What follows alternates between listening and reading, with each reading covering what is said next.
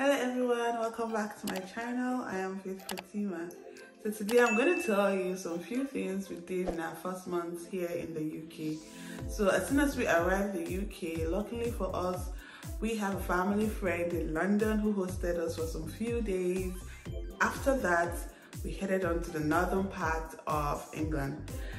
Now when we got there, we had to check into a hotel now the next thing we did was to what? Get our biometric resident permit. So that is what you want to do as soon as you arrive your base. Okay so once we got it then we wanted to like start searching for accommodation but we're restricted because hobby didn't have a car. So our host the lady told us that we could go online to look for local taxis that collected cash and all that because obviously we had no bank accounts and most of them collected card payments. So we went online and got a local taxi. The next thing on our agenda was to get an accommodation, which we did. We went online, searched for it, and we got an accommodation. So after the accommodation, now we could apply and register for our GP. So we waited till we got an accommodation because we needed a GP closer to our home. So register for GP, then you register for the dentist and also for school if you have a little one.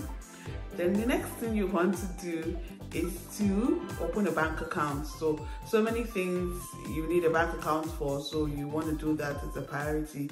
You open your bank account and after that, what else did we do? Okay, yes, I went to the community hub center and I told them about my son because my son is two and people were telling me that he's entitled to 15 hours and 30 hours free education. So I went there personally to find out and she put in his details into the system and sent a request to know if he's eligible. And that is what you want to do also. If you don't have answers, just go to your community hub center. And when I got there, I also found out that they have group meetings for maybe new time moms, breastfeeding moms, and all that, just to ease parenthood and socialize. So you want to do that, just go to your community hub center and socialize, okay? Those are some things you can do as soon as you arrive in the UK and these are what we did.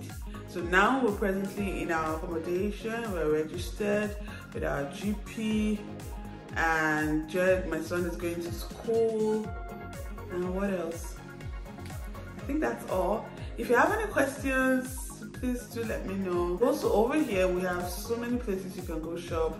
Like they have like the open farm market, I think daily and on weekends. So you can go there and buy fresh, fresh vegetables and fruits. It's fun, but you need to go out and socialize. It's gonna be boring. Anyways, that's all for today. I'll see you all in the next video. All right, bye.